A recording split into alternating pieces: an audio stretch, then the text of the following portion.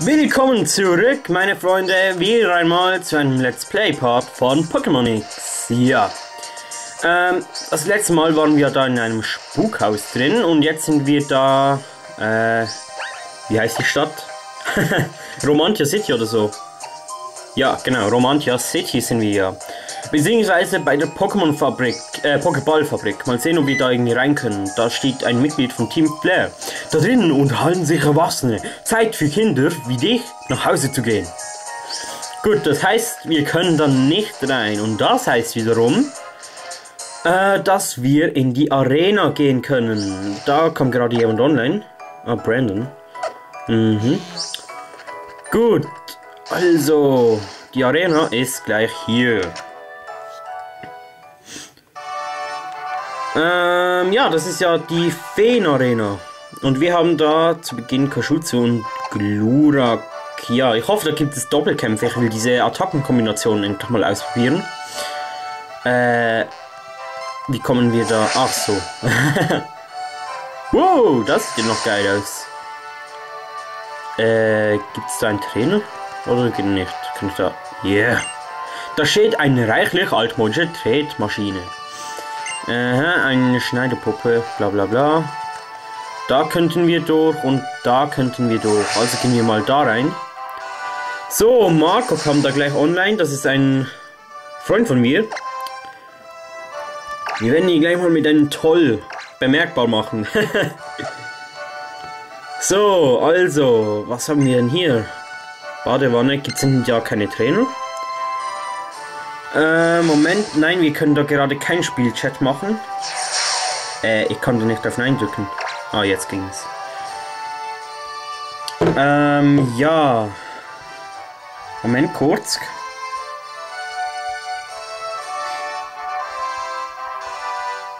So, tut mir leid.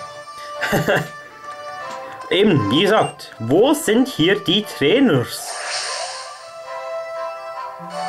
Hier gibt es endlich mal eine. So, komm schnell, lass uns kämpfen. Wir sehen aus wie Puppen in einem Puppenhaus. Sind das so nicht aus? Äh, auch? Nee, finde ich nicht. Tut mir leid. Kimono-Trägerin Ganoe. Ähm, ja. Ja. Das ist ein Pokémon, das aussieht wie ein Schlüsselanhänger. Ihr habt recht. Ja, ist nicht unbedingt eines, das mir gefällt, aber egal. Mein Koshutsus setzt da, wenn es schneller wäre, mal die Wassersäule ein. Mal sehen, wie das Ganze aussieht. Ja, nicht schlecht. Ja gut, dann setzen wir als nächstes, äh, nächstes einfach mal Wasserschurken ein und besiegen es. So. Du, du, du, äh, Ganoe. Setz Kili ein. Das ist ja eben okay. Äh, ich glaube, ich habe mir das, äh, hab mich das schon mal gefragt. Ich bin mir aber nicht ganz sicher. Äh, eben, Trasla, Kirlia und Gardevoir sind alle Fee-Psycho. Aber Galagladi, ist es auch Fee-Psycho oder ist es Kampf-Psycho? Ich weiß es nicht genau. Vielleicht werden wir es ja einmal sehen. Ich weiß es aber nicht. Naja. Granbull. Äh, ja, setzen wir. Ach, ich kann es nicht einsetzen. Aufgrund des Volkerknechtes. Naja, Surfer geht auch. Ach, scheiß die wandern. Ja, kommt bestimmt Evoli. Ne, Glurak, ja, okay, das geht in Ordnung. Mit dem setzen wir auch gleich mal Feuersäule ein. Puff. Das heißt, es wird auch noch eine Pflanzensäule geben, hundertprozentig. Sonst würde es ja irgendwie keinen Sinn geben. Ja. Ähm, soll ich den E-Beteiler einsetzen? Ich glaube nicht, eben da wir Evoli im Team haben und wir wollen den schließlich nicht trainieren. So, und da gibt es reichlich Trainer. Angriffe eines bestimmten Typs sind wirkungslos gegen unsere geliebten Feen-Pokémon. Ja, von mir aus, wir haben ja ja doch, wir hätten da eine Drachenattacke, so viel ich weiß. Drachenklaue von unserem, ähm, von der Weiterentwicklung von Balgras. Alter, ich vergesse den Namen da ständig. Moment. Monargoras. Mein Gott, dieser Name ist einfach zu kompliziert. Naja. Quajutsu setzt doch mal Wasserschurken ein. Das. Ja, okay, das gibt nicht allzu viel Schaden. Naja. Greift ihr öfters an, zum Glück. Puff. Fünfmal gleich. Okay. Was ist das? Diebeskuss? Alter. Ist das eine Fee-Attacke? Fee ist sehr effektiv gegen Unlicht oder gegen... Ach shit, ich hätte nicht Arrow einsetzen sollen. Falsche Attacke. Ja. Eine... Ja, das... Scheiß, die wandern. Nein, mein Kajutsu ist gestorben gegen ein harmloses Fee-Pokémon. Alter, was geht denn da ab? Glurak, du musst Kajutsu rächen. Äh, ja, setz ihn gleich mal Funkenflug ein. Schei äh, kack mich an, mich da in einen mega Glurak zu verwandeln. Geht einfach zu lange. Ich mache das nur, wenn der Gegner mehrere Pokémon hat. Ja. Und wir, wir haben da eigentlich nur zwei Mega-Pokémon. Also, nachdem noch Dingenskirchen, ähm, wie heißt es? Äh, Despotar, wenn das in unserem Team ist, das hat ja auch noch eine Mega-Entwicklung. Aber wir bekommen, ah, genau, das wollte ich auch noch äh, erwähnen. Larvitar bzw. Stolunio, oh, falsche Pokémon schon wieder, erhalten wir erst in der Siegesstraße. Ja, das dauert ein bisschen lange, aber ja. Wir nehmen es, wie es kommt. Was, schon die Arena-Leiterin? Willst du mich verarschen? Ja, von mir aus. Komm schon. Spielt mir auch keine Rolle. Halli, hallo. Trainer? Na, haben wir die Warpfelder, äh, Warpfel, Warpfelder gehörig das Köpfchen verdreht? Wie auch immer, auf in den Kampf. Ich, Valerie, kämpfe mit dem Pokémon von Typ Fee. Sie mögen aussehen wie Sensibelchen, haben aber ganz schön was drauf. Ich kann dir da schon zustimmen, es sehen aber wirklich alle Feen-Pokémon wie Kacke aus. Naja, Flunkkäfer ist ja auch vom Typ Fee neu. Das sieht nicht schlecht aus, muss ich schon sagen. Hat ja auch eine Mega-Entwicklung. Aber trotzdem. Es sehen alle mehr oder weniger kacke aus. Außer Gardevoir, Flunkkäfer, sage ich jetzt noch. Ähm, und eben Sylveon, also Felinara. Und ja, Pantimos, äh, Pantimos geht ja noch. Ist einfach halt von Typ Psycho zu Fee gewechselt eben. Ja. Ich weiß aber immer noch nicht, was wegen Fee sehr effektiv ist. Wäre nett, wenn ihr mir das in die Kommentare schreiben könnt.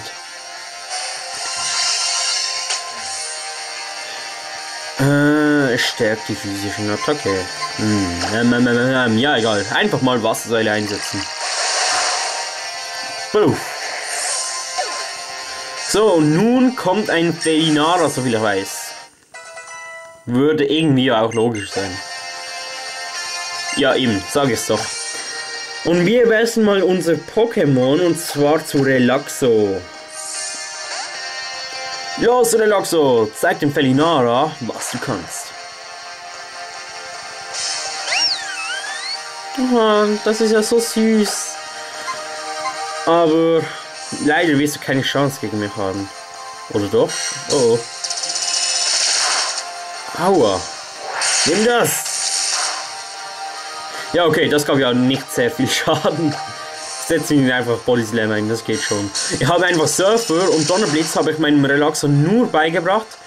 Äh, falls wir mal zum Beispiel gegen einen Flug-Pokémon kämpfen müssen und noch Scheiß die waren, dann hat das eine defensive äh, Stat, ja, ich sag's mal so. Alter Schwede. Ja, komm. Jetzt sinkt noch der Angriff. Ja, wenigstens ist es paralysiert. Das ist doch schon mal was. Gut, setzen wir auch gleich mal Surfer rein. Nimm das. Gibt auf jeden Fall ein bisschen mehr Schaden als, äh, wie heißt es, äh, Stärke, beziehungsweise Body Slam. Da Relaxes Angriff drastisch gesunken ist. Gut, der ist paralysiert, der wird sich aber nun mit einem Hypertrank heilen werden. Seht ihr? Und das nachher noch gleich ein zweites Mal. Nimm das, Felinara! Also das geht mir aber ganz ehrlich gesagt echt zu lange. Wie wär's denn lieber? Äh, Nemo und Argoras werden wir nicht nehmen, denn es ist sehr effektiv gegen mich.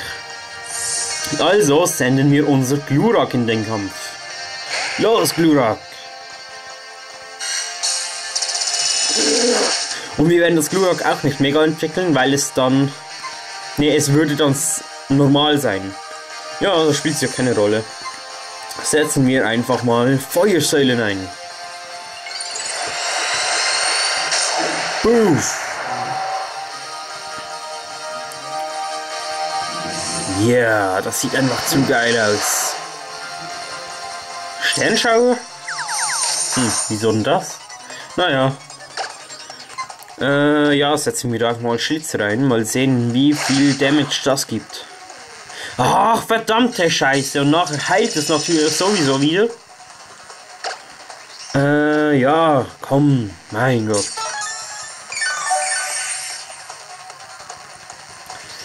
Das scheiß Felinara, muss ich schon sagen. Ja, wir werden mal das Glurak da auch heilen, weil ein Schlag von dem und wir sind weg vom Fenster. Hier, Glurak, nimm. Es wird dir gut tun. Ah, gut, ist sogar paralysiert. Sehr gut. Dann werden wir gleich noch einmal unsere Feuersäule einsetzen und später werden wir. Ja, näher. Reicht es oder nicht? Ne, wir setzen Fliegen ein. Es gibt ein bisschen mehr Damage. Und ja, das geht schon. Ja, komm, der ist jetzt sogar noch paralysiert. Da hätten wir sogar einen Free Attack gehabt. Naja, es reicht trotzdem. Glurak erhält 1656 und Relaxo auch. Schwamm drüber, morgen lichten sich die Wölken wieder und alles ist beim Alten. Wenn du meinst, Hui, das war ein tolles Kämpfen. Schau mal, das hier ist der Feenorden. Ist er nicht einfach entzückend? Hoppla, ich Dummerchen. Ich war so fasziniert vom Anblick des Ordens, dass ich beinahe vergessen hätte, ihn dir zu geben. Also, Händchen auf. Ja, also, wir haben da den Feenorden erhalten. Ja, jetzt wo du diesen feinen Feenorden besitzt, kommst du mit, äh, kommst du super mit Pokémon bis Level 80 aus, selbst wenn du sie mit deinen Freunden getauscht hast. Ach, und hier habe ich noch etwas für dich, nämlich diese TM. Betrachte sie als ein kleines Geschenk von mir und halte sie in Ehren. Abgemacht? Also, Beutelchen auf. Und wir halten die TM 99 Zauberschein. So.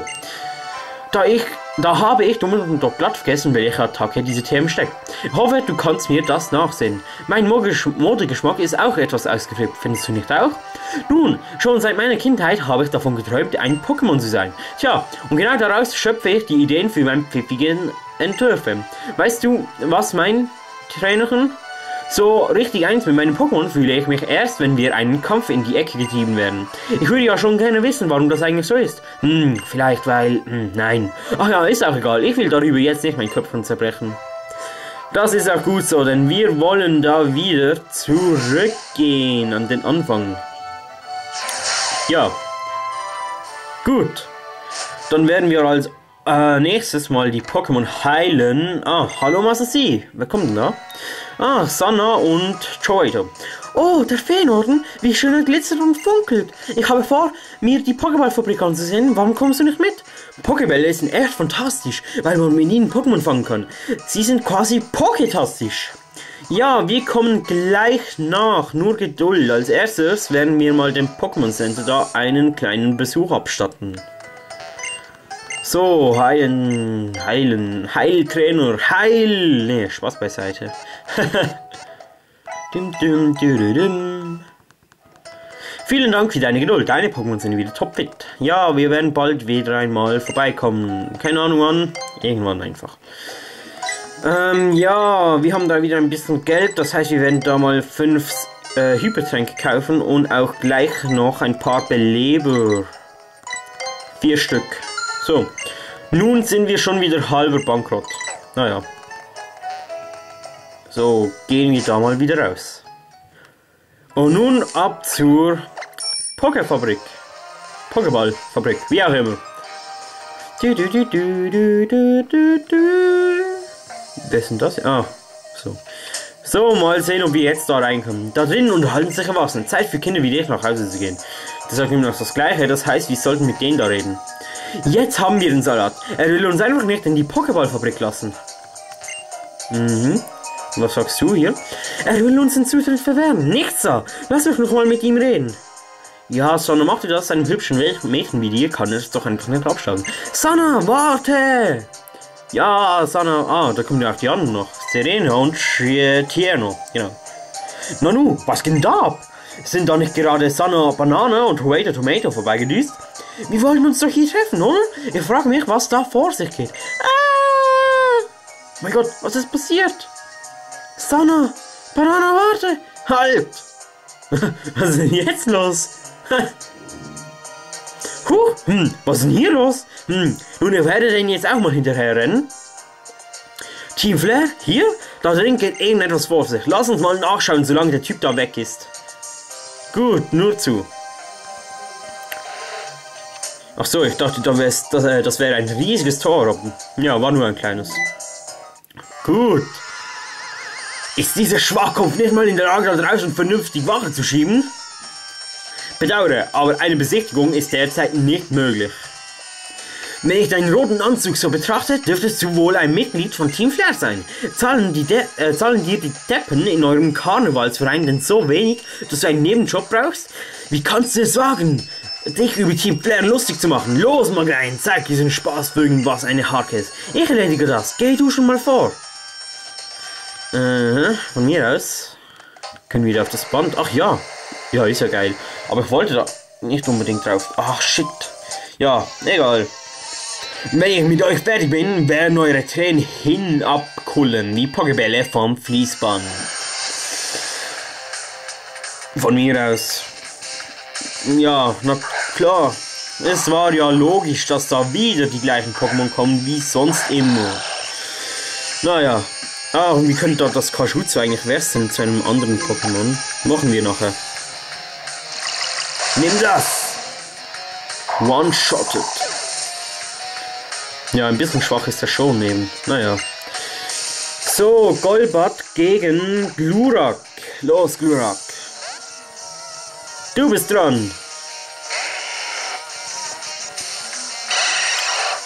Ja, also Golbat, wir werden dich da gleich mal also mega entwickeln werden wir jetzt nicht. Setzen wir einfach Feuersäule ein. Ist ja eine relativ starke Attacke.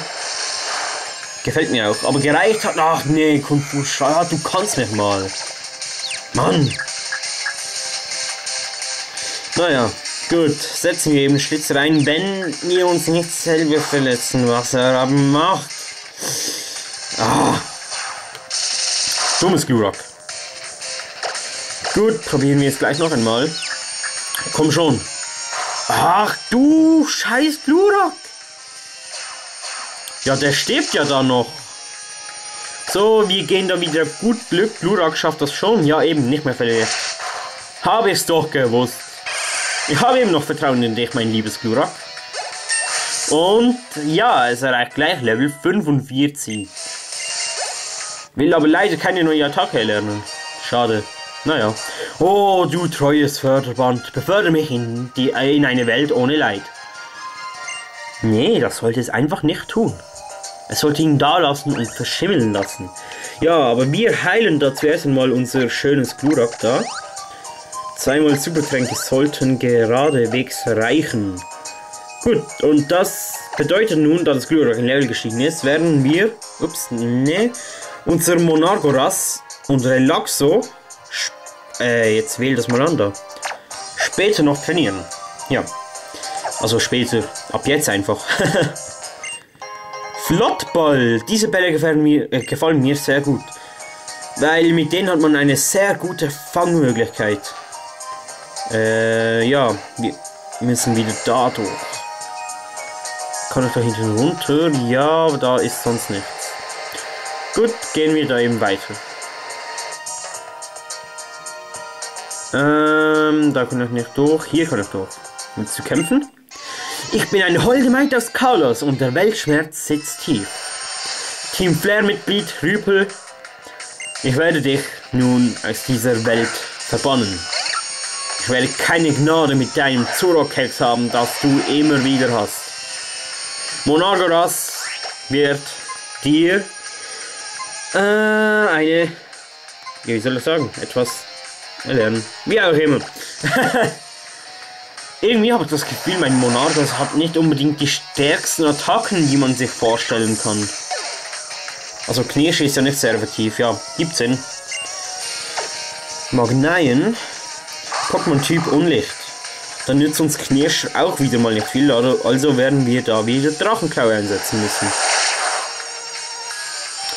Schade, er hat es überlebt und natürlich, ey, die verwehren mich alle nur. Haben die keine anderen Hobbys, als mich immer nur ständig zu verwirren? Die können mich mal. So, hoffen wir einfach, dass wir treffen. Komm schon, komm schon, bitte, bitte. Ja. Braver T-Rex. Sehr gut. Ein T-Rex ist eben ein bisschen stärker als ein Hund. Wäre ganz ehrlich gesagt ein bisschen unlogisch, wenn nicht. Also zum Beispiel ein Hund wie Entei oder Raikun oder so irgendetwas das hätte ja vielleicht noch eine Chance, aber ja. Ein Magneien? Nee, das nicht.